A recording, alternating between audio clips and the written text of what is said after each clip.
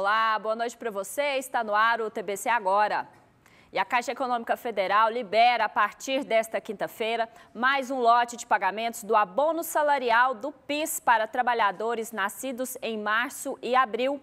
O PASEP estará disponível para funcionários públicos com final de inscrição 6 e 7. O abono está disponível para quem ganhou, em média, até dois salários mínimos por mês e trabalhou com carteira assinada por pelo menos 30 dias em 2018. O trabalhador também precisa estar inscrito no PIS há pelo menos cinco anos e ter seus dados informados pelo empregador na Relação Anual de Informações Sociais, ano base 2018. É o primeiro lote com um novo salário mínimo de R$ 1.045 e o valor é proporcional ao número de meses trabalhados.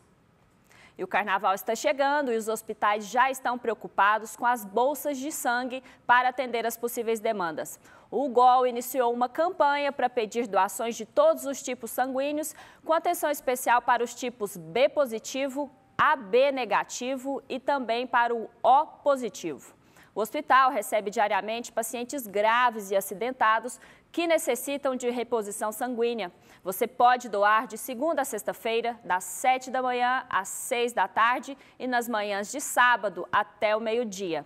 Para doar é necessário estar saudável, pesar mais de 50 quilos e apresentar um documento pessoal. Se você puder ajudar a salvar uma vida, doe sangue.